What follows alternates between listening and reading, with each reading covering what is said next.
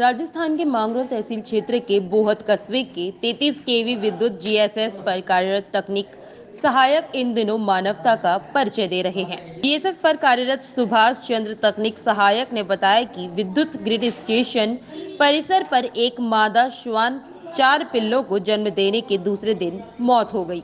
उसके जन्म लिए पिल्लों को जीवन बचाने के उद्देश्य से बाज़ार से प्रतिदिन दो किलो दूध मंगवा कर निप्पल से दूध पिलाकर मानवता का परिचय दे रहे हैं। विद्युत तकनीक सहायक हरिओम बैरवा, सुरेश सुमन, मनीष गुर्जर, पंकज कलवार, दिनेश कुमार मालव प्रेम शंकर मीणा, सुरेश मीणा, सुरेंद्र मीणा, सुभाष यादव रोज़ाना अपनी बारी के अनुसार बाज़ार से दूध मंगवाकर पिला रहे हैं।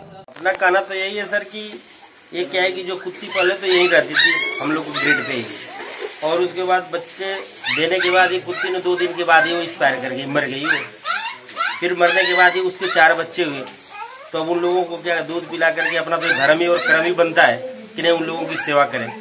तो हम लोग उन लोगों को दूध मंगा करके मार्केट से और पिला करके जिलाते हैं सर। शुभ नाम क्या है सर आपका? हमारा नाम है सुभाष चंद्र। किस पद किस पद पे काम करते हो आप? टेक्निकल पद पे है सर। बहुत जी एस एस पे? बहुत जी एस पे टी एस पद पे है सर।